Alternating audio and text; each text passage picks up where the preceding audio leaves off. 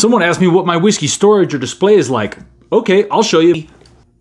You might recognize this area as the area behind me where I've got a few bottles displayed when I shoot. Here's my decanter with Eagle Rare in it.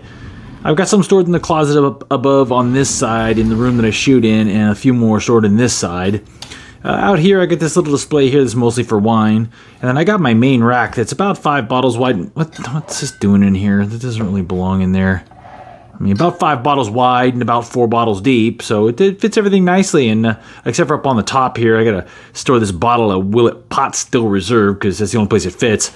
I got a few more over here in this buffet. I just kind of stepped underneath here in this in this spot. That's uh, that's pretty much. That's pretty much my whiskey storage uh, slash dis. What the?